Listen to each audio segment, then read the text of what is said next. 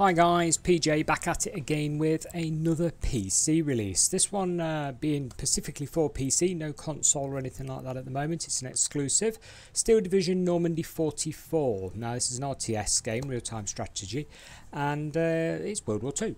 You know, you, you take control of everything from uh, the 101 Airborne to, uh, I think it's British, got a bit of gen on it over here. It's, uh, let's have a look, command over 400 historical units, and what else have we got?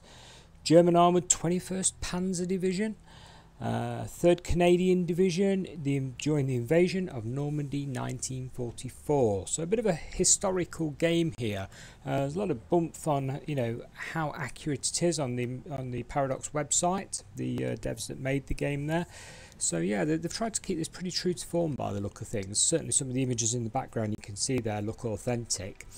But uh, this video we're going to be looking obviously at the options again and what sort of graphics load this game does. Before we go into them I will just say this, I ran the uh, auto configure option on the game so it, it sort of switches through everything to configure what is best for the game on your particular PC. After spending an eternity going through all these options that it did automatically, um, it basically refused to load after it had figured out what was best for my PC. So I'm not recommending you use the auto configuration option. you know, the, the, configuration took about five minutes and it went through loads of different settings and stuff. And uh, I noticed it top VRAM out at four, uh, four gigabytes VRAM and it was using 10 gigabytes of normal RAM. So uh, it's pretty intensive. You know, CPU cores were 70 80% at uh, one point as well. So this, this game is taxing, you know, there's, there's no doubt about it. So if we have a quick look at the menu, I've not played it at all, so obviously boot camp's grayed out there.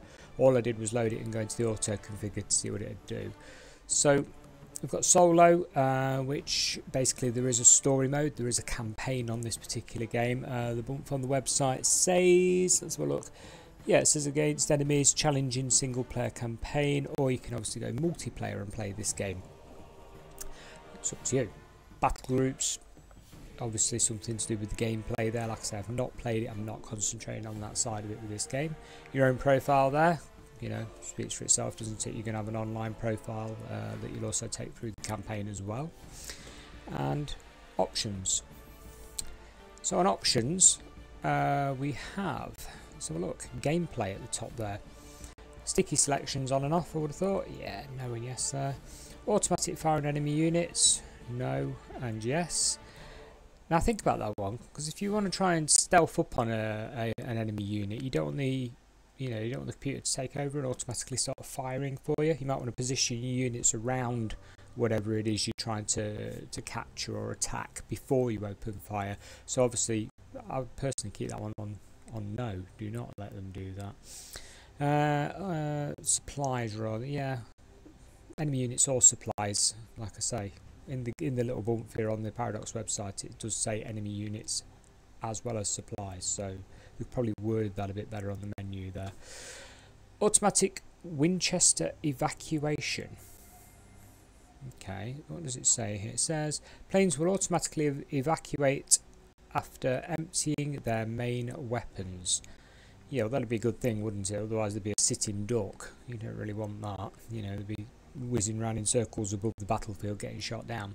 So yeah, you want them to retreat afterwards. Um, mousetrap. Yes. Okay, we haven't got an option to switch that off. So whatever mousetrap is, I can't highlight it to tell you what it is. Sorry guys. Uh, what we got? Mouse border scroll. Pretty obvious one, isn't it? It says here, translates the...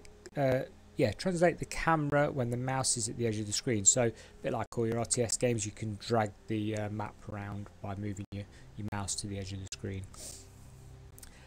Pad camera control. Uh, activate, deactivate camera movement with the pad. I haven't got a controller switched on at the moment. We will see if it will seamlessly switch over in a minute. I'll switch one on and uh, see if it works.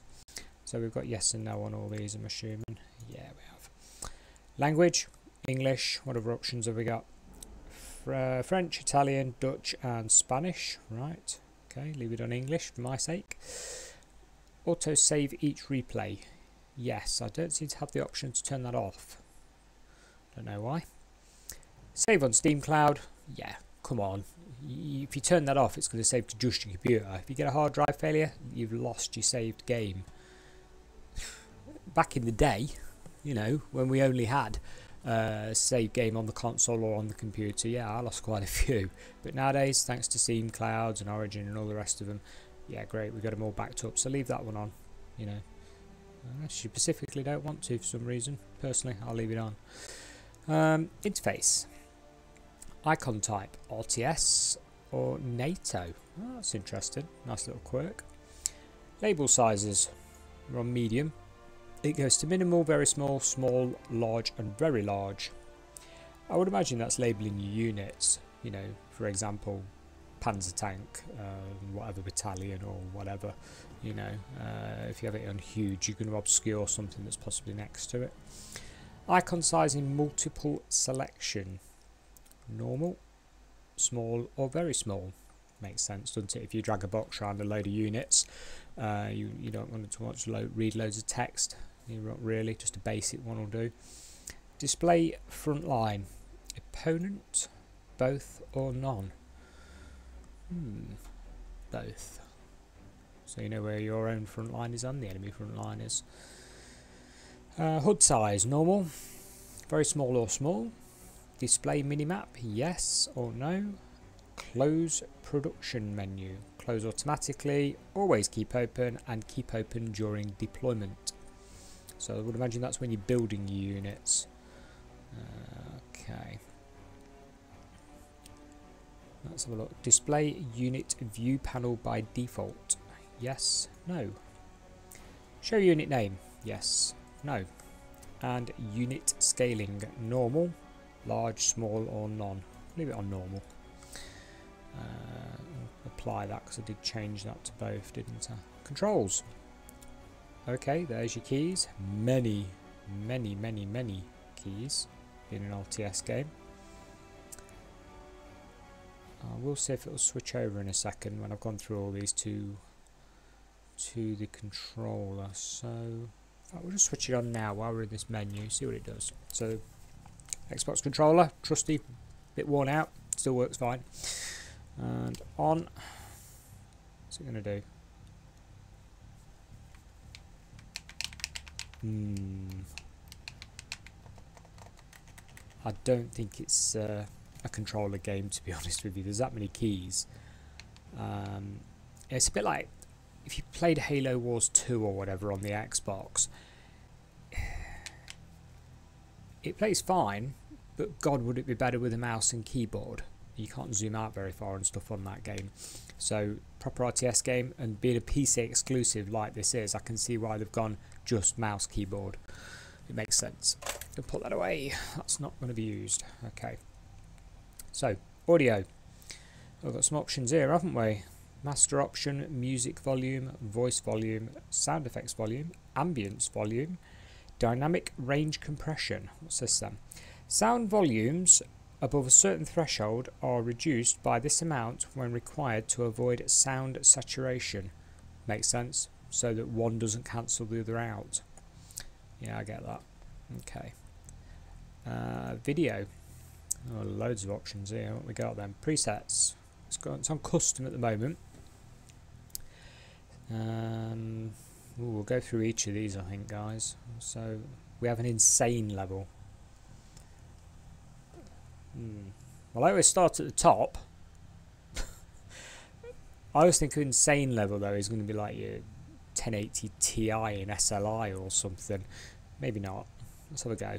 Let's click insane and see what happens if it crashes. Sneaky little editing here guys. Um, I did the original recording for this a few days ago and the other day I recently upgraded to a ultra wide HDR monitor.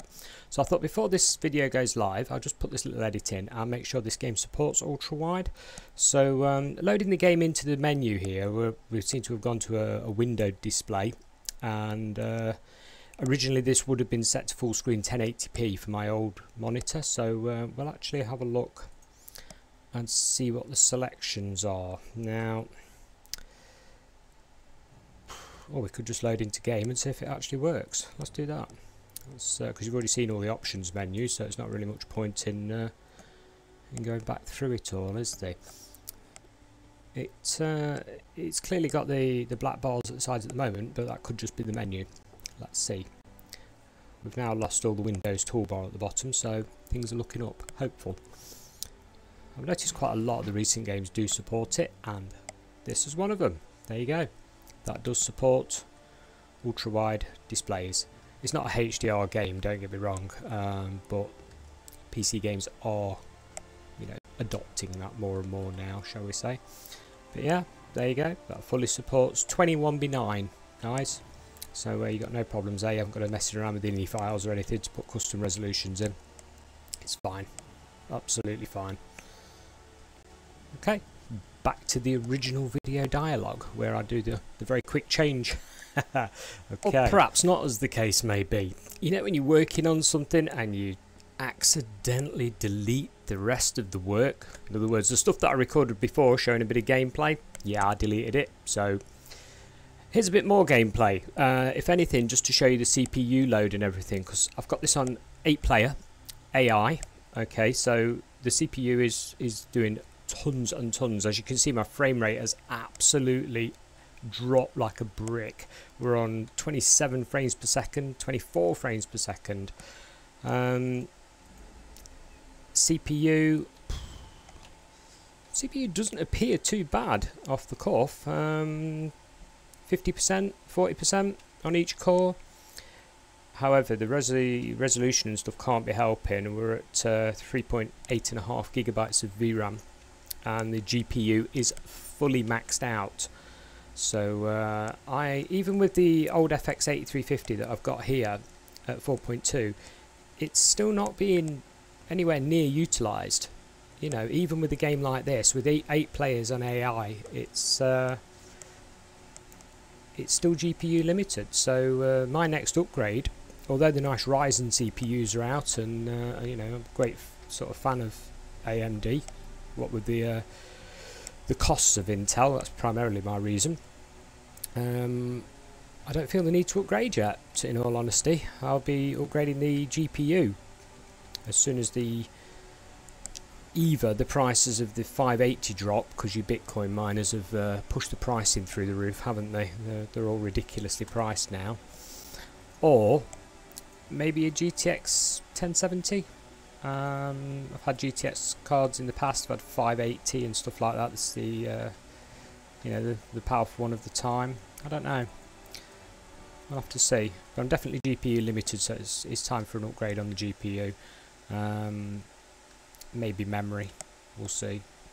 Who knows? But as you can see, frame rate unacceptable. I would have to drop some of the details down from the maximum level that they're currently set at. I'd have to probably drop them to high I've got them on insane at the moment, so knock them down one peg, and uh, you you probably keep this above sort of 30 frames per second. I don't particularly see the need for this to be uh, a 60 frames per second game. It's it's just not not necessary really. It's you know it's an RTS game. You know what? I don't even know how you move these vehicles. what we got? What's this? Placing a beacon. Oh, launch battle would help, wouldn't it? There we go. There you go, let's get a bit of movement on the go, so if we can wreck my frame rate even more. Amazing how taxing these uh, RTS games are on the hardware. You know, everybody sort of thinks of your uh, your Crysis 3s and your and your newer, very graphical games as taxing, but uh, these are taxing in a different way. Well, I'm going to leave them AI to play out and uh, kill each other off which I'm sure they they will do. I've got convoys coming up now a lot.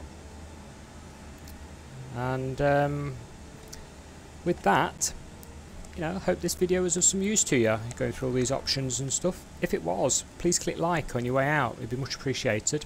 And uh, subscribe for future videos. I try and do one every day, however, PC game releases or console game releases don't come out every day, so there are little gaps, you know.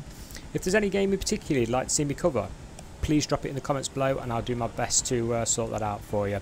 Thanks for watching and goodbye for now.